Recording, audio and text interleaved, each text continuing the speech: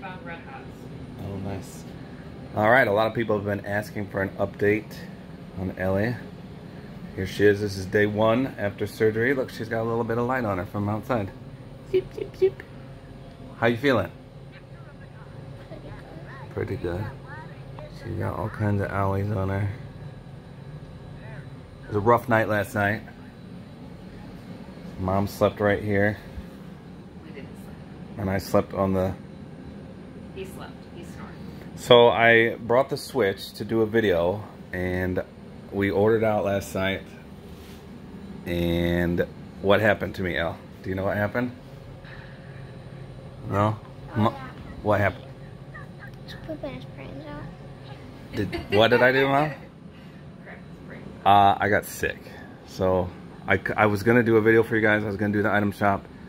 I was actually going to go to the room where they...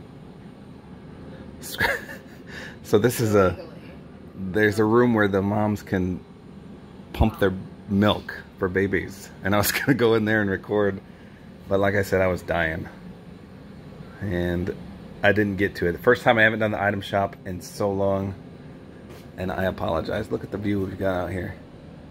So i'm actually gonna go home and pick up ellie's brother the brothers jack and Jack and Nolan, and then we're gonna bring them back and visit. But it's it's a long drive, so it stinks. But I'll do the item shop tonight because I will be home. I'm gonna spend the night at my own house. Leave mom with Ellie, right? What are we watching here? Uh, I don't know if I can show that real quick. Zip.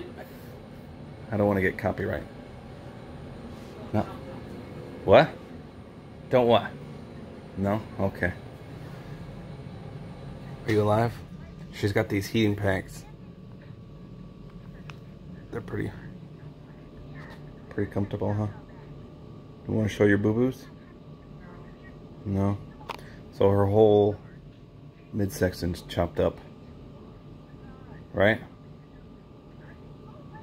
It's pretty sad.